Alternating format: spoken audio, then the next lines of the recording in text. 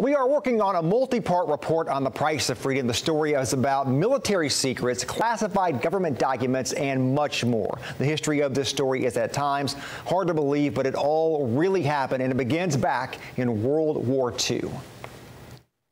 For years, we've told you the stories of the men who fought in the Pacific theater of World War II, such as the late K.O. Irwin. He was a survivor of the sinking of the USS Indianapolis. Back in 2016, he told us about the battles he saw with his own eyes. I was at Tarawa, the Marshalls, the Marianas, the Gilberts, Saipan, Tinian, Guam, Iwo Jima, and he saw a lot more fighting than just that. But this story is about the land where that second battle happened. Tarawa, the Marshalls. The Marshalls, the Marshall Islands. The Gilbert Marshall campaign was fought over the months between November 1943 and December 1944. In 1945, World War II ended. In 1946, the United States started testing nuclear weapons in the Marshall Islands.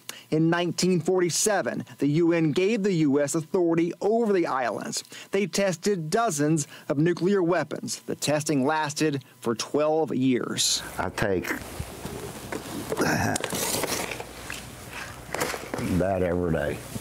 In the late 1970s, the United States sent more than 4,000 American service members to remove radioactive soil and debris from the islands of the Enewetak Atoll in the Marshall Islands. It looked like paradise, but Cleveland's Bucky Holmes has been living with the fallout of what happened there in the years since he left the Army. Everybody thinks that they're just waiting for us to die so that they can uh, not have to deal with us.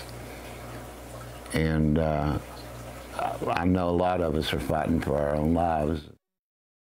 And we are just scratching the surface on this story. We'll have much more on these veterans and the Marshallese people as well, coming very soon on the price of freedom.